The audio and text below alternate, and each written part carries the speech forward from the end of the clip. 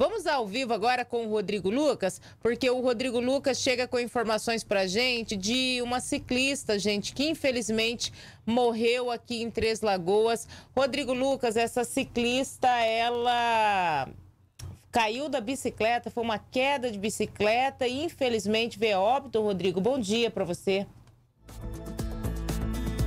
Pois é, Ana, bom dia a você, bom dia a todos que acompanham o RCN Notícias nessa manhã de quinta-feira. Pois é, na verdade é um homem, né, um senhor aí que acabou caindo de bicicleta, se acidentando é, aqui em Três Lagoas. Ele que estava internado desde a última sexta-feira, estava trafegando pelas vias aqui da cidade, teve um mal súbito, acabou caindo, né, teve ferimentos, foi encaminhado ao hospital e aí Ontem, infelizmente, ele acabou morrendo aqui em Três Lagoas, né? Nossos sentimentos aí à família, se estiverem acompanhando o RCN Notícias, né? E aqui a gente relata né, casos que estão acontecendo em Três Lagoas também de acidentes relacionados a ciclistas. Ana, ontem também nós tivemos mais um acidente registrado aqui em Três Lagoas, infelizmente com duas pessoas feridas. Uma motociclista, ela ficou ferida após atropelar um homem na na Capitão Olinto Mancini. Ela estava trafegando na Olinto Mancini, uma das principais avenidas aqui da cidade de Três Lagoas.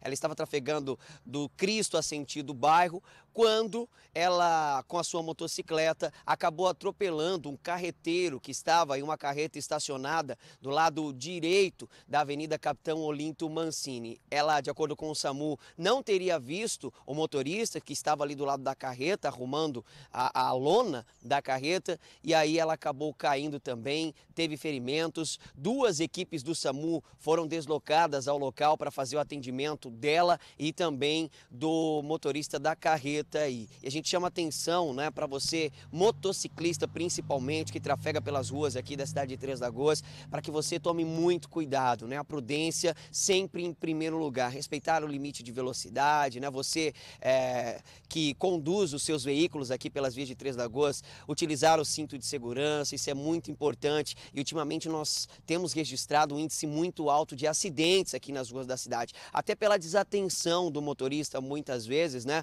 Como foi o caso nesse acidente que aconteceu ontem, no comecinho da noite, ali na Capitão Olinto Mancini, dessa motociclista. Ela foi socorrida, foi encaminhada à unidade de pronto atendimento aqui da cidade de Três Lagoas e também o caminhoneiro foi socorrido também, também foi encaminhado aí à unidade de pronto atendimento aqui da cidade de Três Lagoas. Prudência. E falando também a respeito das bicicletas, né?